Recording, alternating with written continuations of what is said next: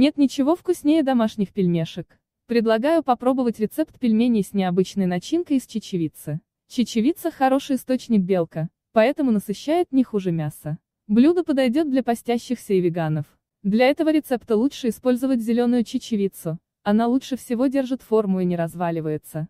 Фарш из чечевицы получается универсальным, он также подойдет в качестве начинки для пирожков или котлеток. Ниже я подробно расскажу, как приготовить пельмени с чечевицей. Мука 3 столовые кона. Вода 1 столовый кон. Чечевица 100 грамм. Лук 1 штука. Чеснок 2 зубчика. Растительное масло 2 столовые ложки. Лавровый лист 2 штуки. Томатная паста 2 столовые ложки. Соль 1,5 чайных ложки. 1 час Л. В тесто 0,5 часа Л. В начинку.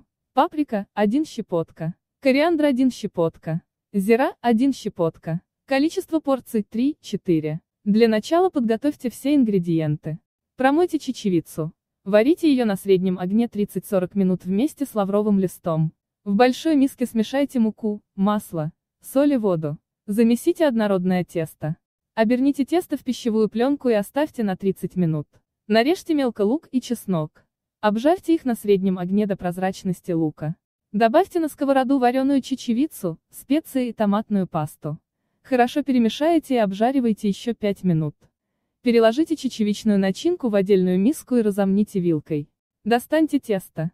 Оно должно быть эластичным и не липнуть к рукам. Если липнет, добавьте немного муки. Раскатайте тесто тонким пластом, с помощью стакана сделайте кружочки подходящего диаметра. Выложите в центр кружочков начинку из чечевицы. Сложите кружок пополам, соедините края. Концы половинок плотно скрепите друг с другом. Положите пельмени в кипящую воду вместе с лавровым листом.